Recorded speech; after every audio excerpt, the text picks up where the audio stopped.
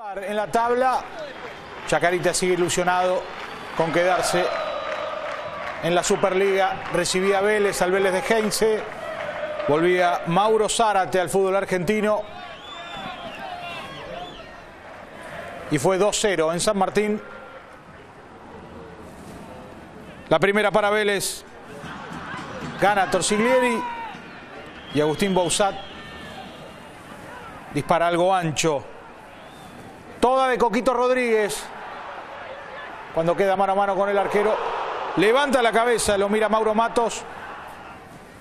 Que lo erra abajo del arco. Una más para Vélez. Esta parecía más importante, pero se la queda Pedro Fernández después del remate suave de Mauro Zárate. Dos tacos, ¿valen un gol o vale dos? Vale uno.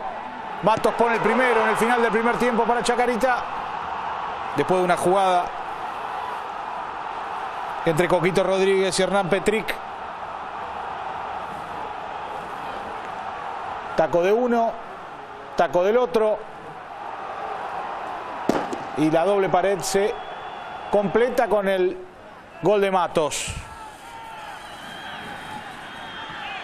De contragolpe, aunque parece mentira porque Chacarita gana 1 a 0. Bouzat lo pierde increíblemente por encima del travesaño. Heinze trabaja y trabaja en Vélez. Hay mucha expectativa para que lo saque. Achica bien. Sale rápido Fernández. Entonces Hernán de la Fuente la tira afuera. Atención. Santiago Cáceres ve la segunda amarilla después de la falta sobre Mismara. Esta era la primera con Coquito. Esta es la segunda. No sé si era para doble amarilla, pero bueno, Vélez se quedó con uno menos. Zárate desde afuera la pasa cerca.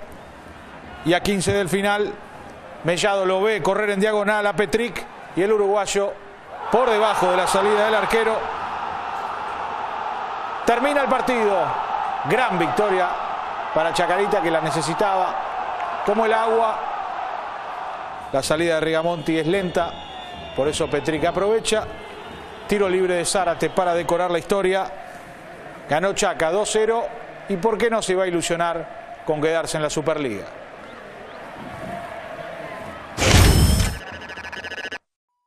El primer tiempo arrancamos con iniciativa de la pelota, jugando, por ahí nos generamos muchas situaciones. Eh, nos faltó por ahí las terminaciones. Eh, hoy tuvieron dos jugadas, una casi gol y, y, bueno, creo que el segundo tiempo encontraron el gol eh, y bueno, y nos complicó el partido. Esto va a ser siempre así. Cuando ganan están cerca de un torneo internacional y cuando pierden ya miran la tabla de abajo. Sí, somos conscientes que el objetivo nuestro es engrosar el promedio. Si vienen haciendo torneos deportivamente no buenos, y bueno, tenemos un campeonato aparte que sigue trabajando, aprender de este error y corregirlo rápido. Tenemos que ganar acá de local más que todo. El otro día en Godoy Cruz hicimos un buen partido, se nos escapó, ganamos un par de goles. Bueno, hay que seguir con esta actitud que tuvimos hoy y vamos a hacer un buen campeonato. Planteamos el partido muy bien, le dimos la pelota a Vélez y salimos rápido de contra y las oportunidades que tuvimos las aprovechamos, cosa que no pasó el partido pasado.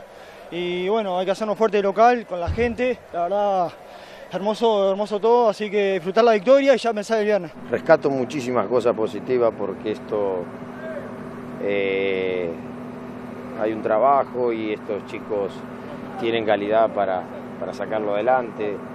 Eh, rescato de que, de que se den cuenta que ellos pueden. Eh, hay, hay gente muy joven hay gente con experiencia, que esto es largo.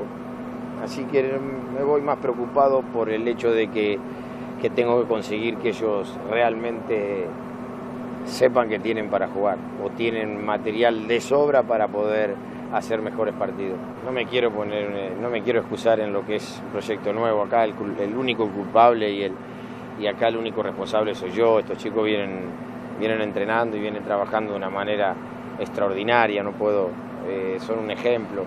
El, acá el único, el único responsable y el que, el que, el que lleva a hacer estos partidos malos es el entrenador y soy yo. Los chicos no tienen nada que ver. Estamos en una situación, en una posición donde ciertos lujos no nos podemos dar, es una realidad. Hoy ganamos y seguimos estando último en el promedio. Entonces, decir que estoy feliz y la verdad estoy contento, estoy feliz, pero ya mañana vuelve toda la realidad y no solo eso, sino con, con la misma entereza que tuvimos esta semana para, para sacar este partido adelante.